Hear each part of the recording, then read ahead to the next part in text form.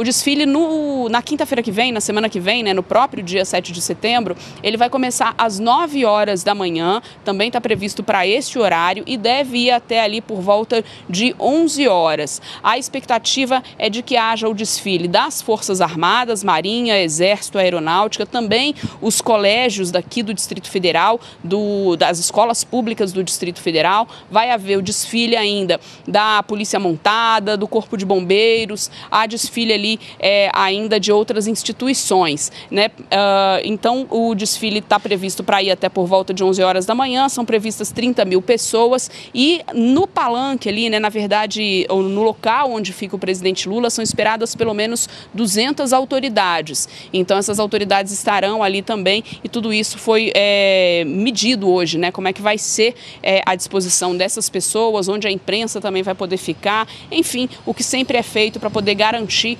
um 7 de setembro seguro, não só para as autoridades, mas também para a população que acaba vindo à esplanada dos ministérios para assistir a essa festa cívica. Enquanto isso, o Flávio Dino, ministro da Justiça e Segurança Pública, emitiu um alerta ao governo do Distrito Federal sobre possíveis manifestações marcadas para o dia 7 de setembro, o ministro acionou o governo, após a identificação de 10 vídeos, incluindo um do pastor Silas Malafaia, que fazem menção à data, e sugerem que o evento será de grande proporção. No conteúdo, é mencionado que o 7 de setembro será gigantesco, o que levantou preocupações de que seja uma convocação para atos de manifestação, assim como aconteceu no 8 de janeiro.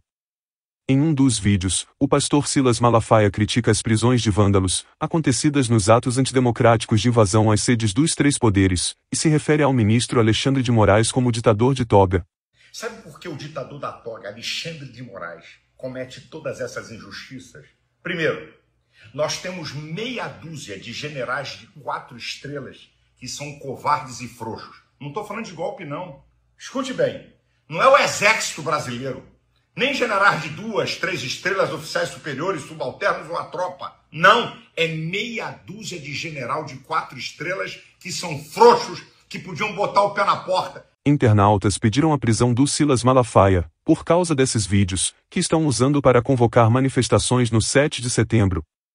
Bem, como já foi dito, o Flávio Dino enviou esses vídeos, como um alerta, ao governo do DF, que é responsável por impedir os vândalos no 7 de setembro, Porém, na minha opinião, o Malafaia não será preso.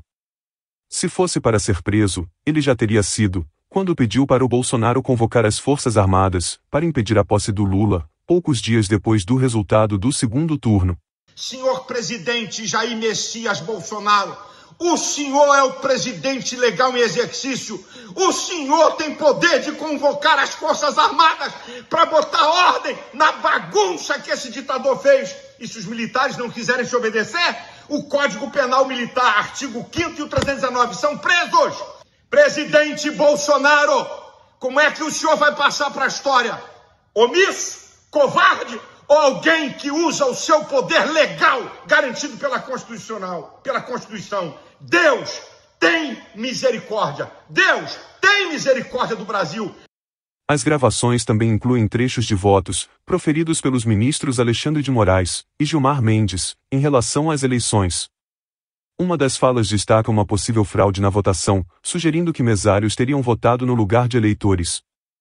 A legenda de um dos vídeos critica fortemente o STF, dizendo que eles não têm vergonha na cara, ora defendem algo, momento seguinte condenam. Depois chamam o STF de lixo. O processo de votação não será concluído até que o eleitor confirme a correspondência entre o teor de seu voto e o registro impresso e exibido pela urna eletrônica. Me permite, é, é interessante, é, as vulnerabilidades da, do sistema de votação eletrônica, é, eles são conhecidos da Justiça Eleitoral e mais do que isso, a Justiça Eleitoral os aponta. Por exemplo, a, o, o surgimento daquilo que na linguagem da Justiça Eleitoral se fala do mesário pianista.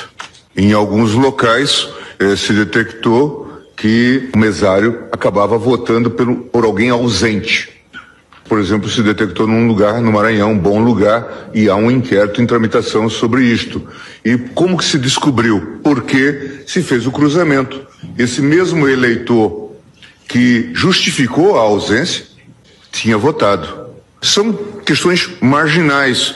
Nós tivemos um caso, redator para o acordo, ministro Rosado e ministro Fuxado, onde se lembrar, Pescaria Brava, eh, em Santa Catarina, em que ah, numa urna se detectou que um morto teria votado.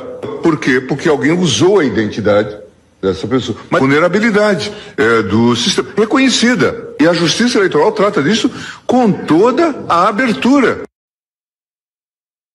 Muito estranhamente, anteontem, 1 de setembro, o governador do Distrito Federal, Ibanez Rocha, admitiu haver um sentimento de medo em relação a eventuais manifestações no 7 de setembro.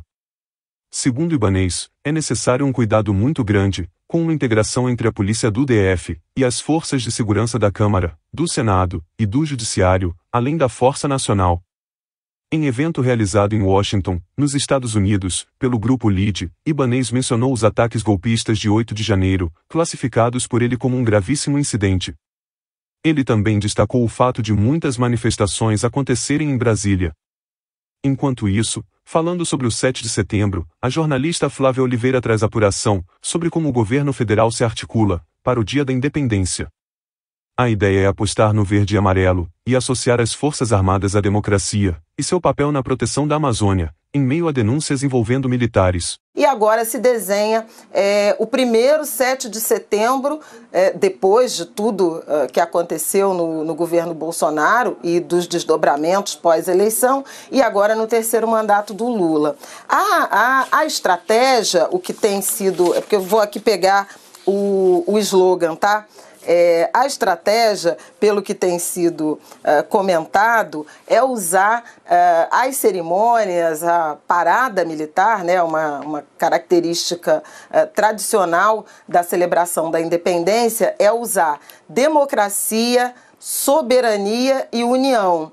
Chamar muito atenção para ênfase, inclusive usando verde e amarelo, né, cores da, da nação, uh, também muito usada nos desfiles de 7 de setembro, inclusive por Bolsonaro, alguns uh, transformados em, em atos uh, golpistas, autoritários, autocráticos do ex-presidente, mas usar isso especialmente fazendo associação das Forças Armadas é, com a democracia, com o papel, e aí é sim uma atribuição, principalmente no que diz respeito à vigilância das fronteiras, e seu papel na Amazônia, é, hoje é absolutamente relevante, seja pela uh, ocupação pelo crime organizado, seja pela uh, entrada de armas, de drogas e a própria proteção da floresta.